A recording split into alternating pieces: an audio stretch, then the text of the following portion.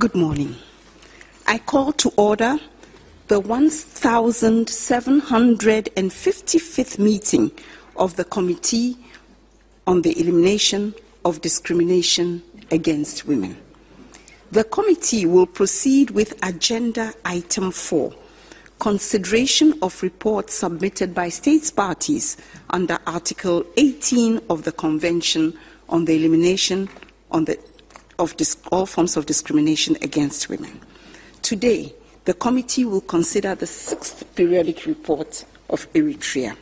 As you are aware, the procedure for the committee for the consideration of periodic reports is for questions to be posed by a number of experts, following which the delegation will be given an opportunity to respond to those questions. Following that, another group of experts will be given an opportunity to pose questions, and the delegation is again given the floor to respond. The experts' questions will be asked largely following the order of the articles of the Convention. This procedure is followed throughout the two meetings for today. We will start with questions relating to Articles 1 and 2 of Part 1 of the Convention. I would first like to give the floor to Ms. Verges for five minutes. Ms. Verges, you have the floor for five minutes. Thank you.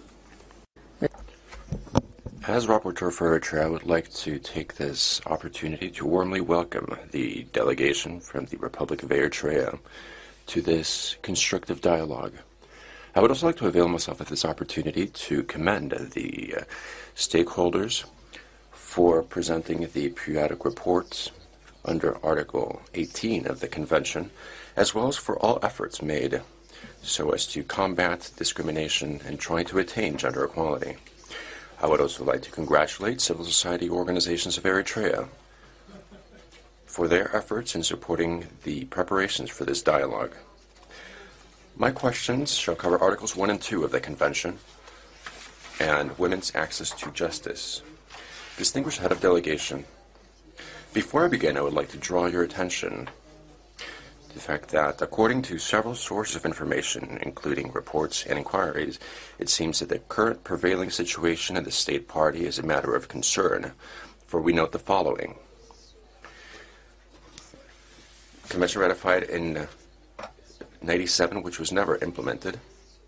The lack of democratic and operational decisions. Take, for example, the National Assembly, which has not been renewed since it was created during the transitional period. The country has never had free, transparent, and regular elections, neither presidential elections nor for the National Assembly nor regional elections. There's also a lack of separation of powers. All of this means that the power is held mainly by the executive and also the office of uh, the public service can be seen as the source of serious violations of human rights in general and for women in particular, including sexual abuse, sexual harassment, slavery, torture, rape, arbitrary detention, the violation of fundamental rights, such as political and public rights, the freedom of opinion and freedom of assembly,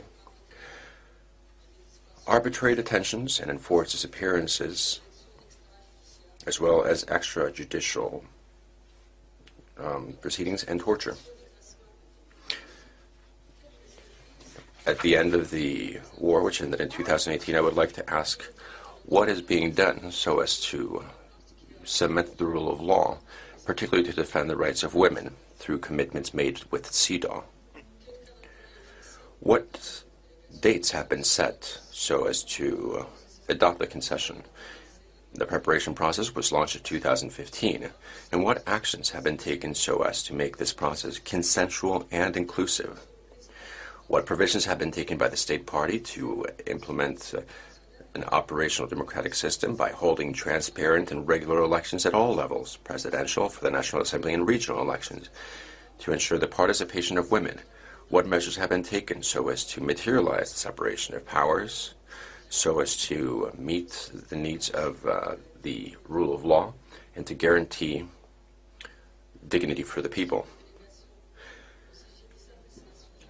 When it comes to national services, I would like to ask what actions have been taken for its reform, mainly after the peace agreements, so as to take into account issues such as exception cases, the conditions of dignity, and the obligation that you have so as to allow students to freely choose their own studies, the elimination of the obligations for the national service to gain citizenship, and this revolves this involves economic, civil, and political rights.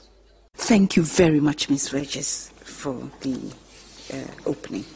I will now give the floor to Ms. Nicole Ameline for five minutes. Thank you, Chair. So as to ensure that the rule of law is grounded solidly, do you believe that a human rights mechanism is uh, feasible so that an independent commission could uh, inquire the violations of human rights that have transpired in recent years. Thank you very much, Ms. Ameline. I will now give the floor to the delegation to answer the questions posed under Articles 1 and 2 by the two experts on the, on the convention. Thank you very much. Um, I thank the delegation for the answers, and I'd like to know whether there are any follow-up questions. Ms. Ameline, you have the floor. Ms. Verges, you have the floor. Merci. Thank you, Chair. You have listened to your responses clearly, and we are aware of the history. But what we're concerned about is not the history, but the future. Particularly, the possibility for your country to embrace uh, rule of law. Madam Verges. Merci. Thank you, Chair. The question I had was women's access to justice, and I believe that question went unanswered. Thank you. So please report on additional measures taken and you are intending to take, and in what timeline to hold free and fair elections to the National Assembly and other elected bodies. And can you mention some independent women's association outside this national union you mentioned under Article 3, acting in the different substantive areas covered by the CEDAW Convention, which are acting freely in your country and with which you cooperate on implementation of the CEDAW outside this union? I had a few questions too about um, women in jail or women who have been detained, and many of them do not have access to courts, and many of them are not able to be in touch with their families, and they are not brought to courts.